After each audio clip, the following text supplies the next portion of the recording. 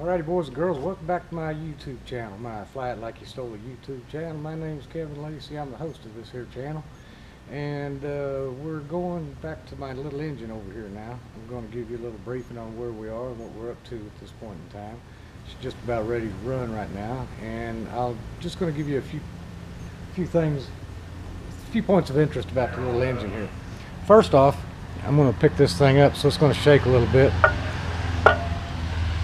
I want to point out that this is an air-cooled engine, meaning that these all these little cooling fins on here, they uh, they direct flow of air across here, and the flow helps cool it down.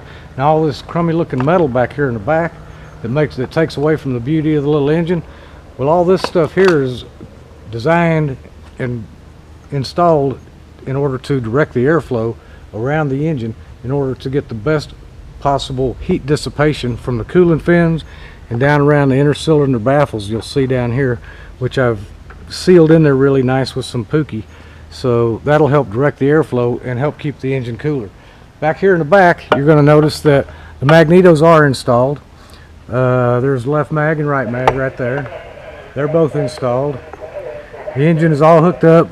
My oil temperature bulb is through here through the uh, oil suction screen right there. You'll notice that.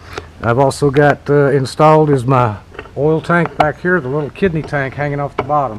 Stand by. The little kidney tank here hanging off the bottom is the oil tank. And that's got that standpipe suction tube that picks up the oil and sucks it up through there, sends it through the suction screen and then on through the oil pump and throughout the engine. Uh, you'll see the carburetor is installed. It has a, uh, a little uh, spider, if you will, on here with the intake pipes going up to the engines up here through the intakes, the exhaust up here to the top and the rest of the baffling that's around the engine. So like I said, some of this ugly baffling that's just hanging here is installed for convenience only. And where I am at, with the process at this point in time is I am checking my valve clearances.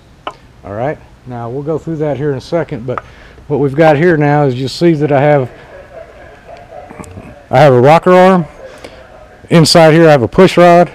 The push rod goes down to the uh, to the valve to the lifter and the lifter body and as the camshaft rotates it around it rotates this up and down. Now in making the engine run you're supposed to have proper clearances right here.